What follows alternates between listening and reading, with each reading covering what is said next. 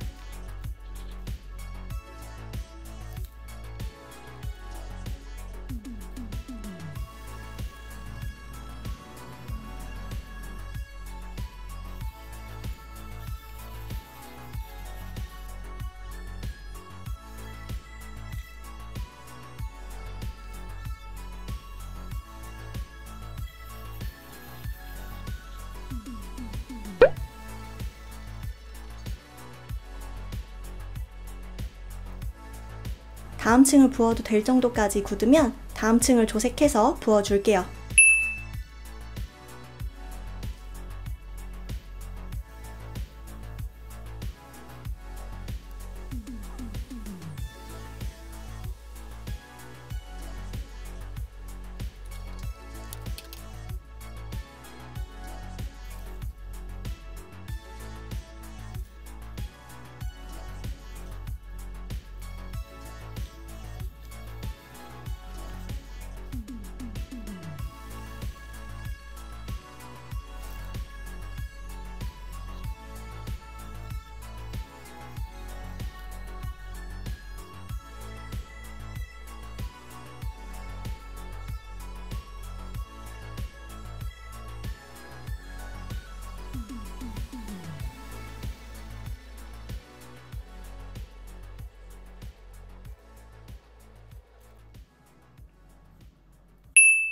이제 타령해 볼게요.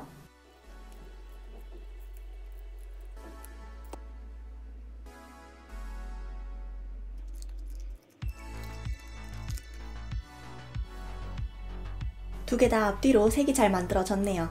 그럼 뒷면을 사포질 해줄게요.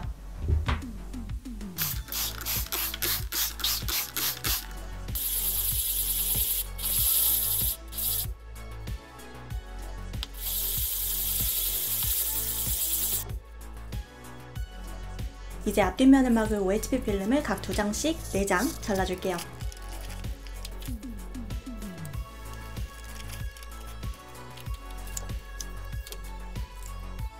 뒷면에 필름을 먼저 붙이고 파츠들을 채울게요.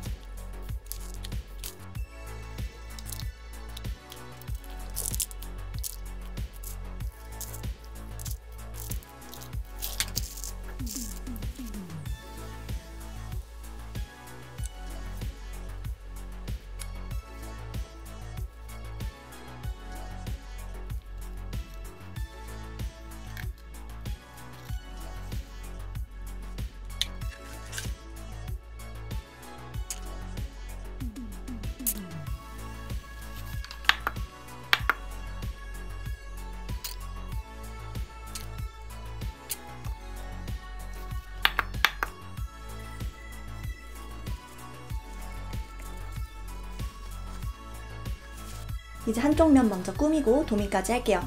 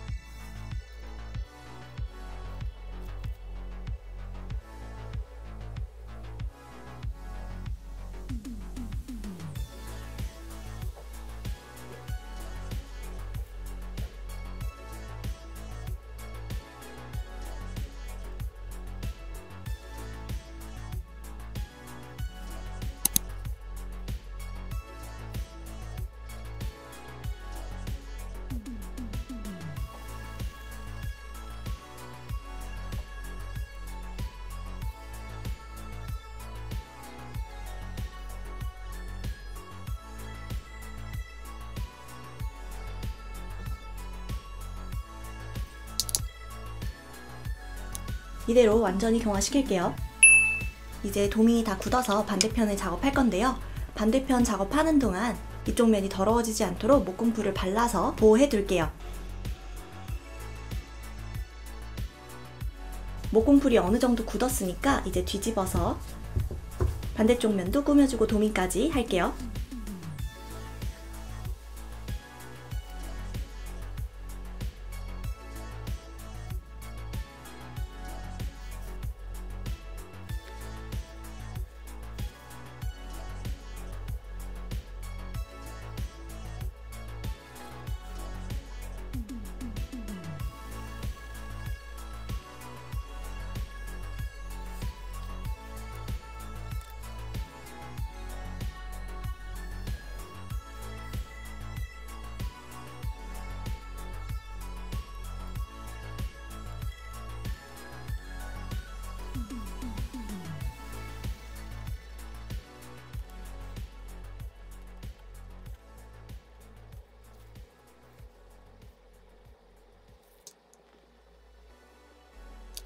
이대로 완전히 굳을 때까지 한 번 더 경화시킬게요.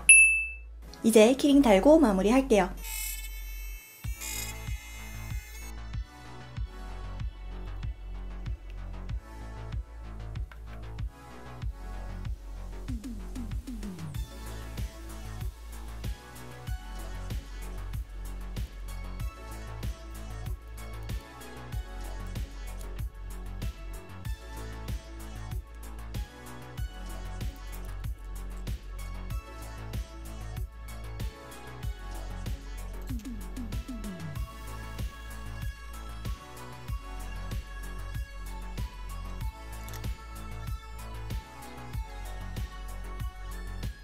이렇게 기묘한 이야기를 컨셉으로 쉐이커들을 만들어 봤어요.